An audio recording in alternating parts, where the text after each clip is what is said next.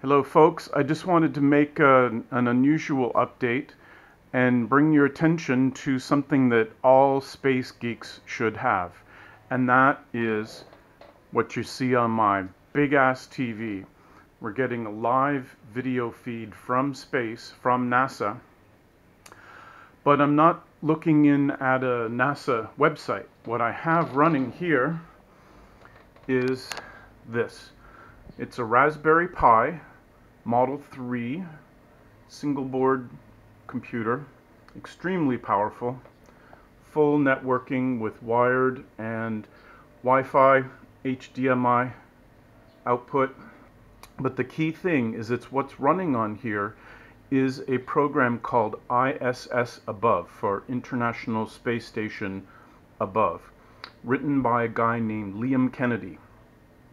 I found out about Liam through a YouTube channel that I watch, and I'm actually a Patreon of, called Tomorrow, or T-M-R-O as they spell it.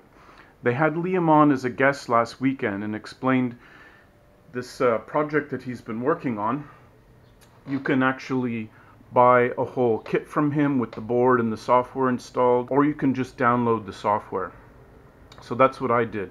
I downloaded the software, I bought the uh, Raspberry Pi online here in Thailand. It actually came from Chiang Mai. I think it costs about $17 including shipping. You take Liam's software, you flash it onto an 8 gigabyte memory card, which is right there. You boot it up. You, you have to actually plug a network card in first which takes you to the configuration screen. From there you can enable the Wi-Fi and join your Wi-Fi network and then you no longer need the network cable which is good for me because I have zero slots left on my router. And then one of the things you do in the configuration is you tell it where in the world you are and then it uh, does several things for you on the screen. It gives you real-time high definition video coming from the International Space Station and it cycles through a few screens. We'll see what comes up next. But one of the things it does is it tells you when the next overfly of the space station is to your location. Now sometimes these are in the day or uh, at night when they're not visible. But what it does tells you is the next visible pass which is right around dawn and right around sunset, where the space station is above you in the dark, but the sun is shining on it and reflecting down, so you can see a reflection of the space station as it goes overhead. and uh, you'll see, maybe we'll get another screen. Uh, another screen it does is it gives you the profile of all the astronauts on the space station. Ah, and then this one, it gives you the flight track of where it's going. It tells you when your next pass is, how high it is, how fast it's going.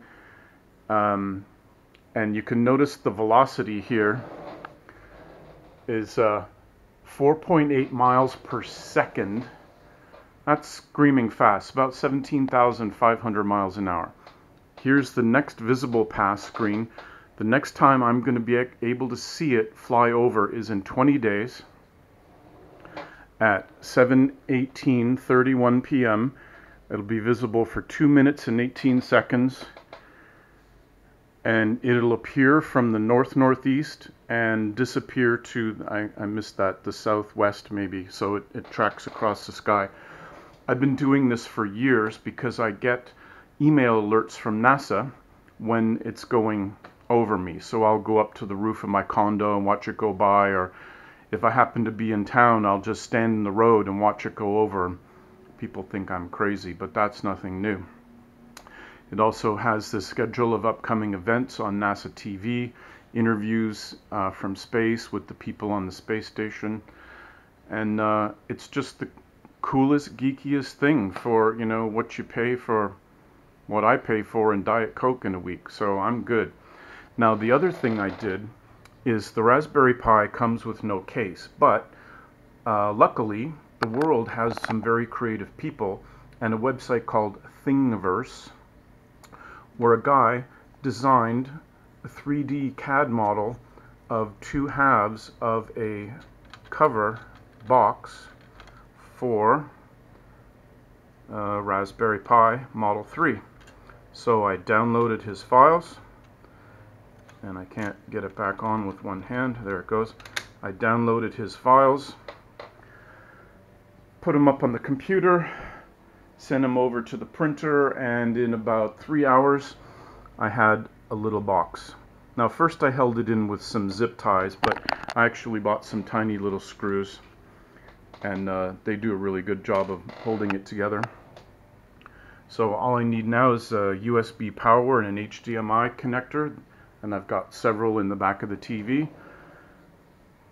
So it's just my latest little geek toy and I'm very thrilled at how it works and thankful to Liam for making this for us and making it super affordable to uh, buy his program and download it. I'm always happy to pay for good quality products and to the Tomorrow people for having him on the show and I'm a Patreon of the show and I'm actually scheduled I worked my schedule around I'm going to be visiting the Tomorrow set uh, in mid-September when I make my visit over. I'll be stopping in LA for a couple of days. So I'm happy about that. So uh, hopefully you will have seen the links to all the different things that are involved in this on the screen. And uh, if you have a feeling that this is for you, go ahead and download everything and enjoy it. Space Mikey out.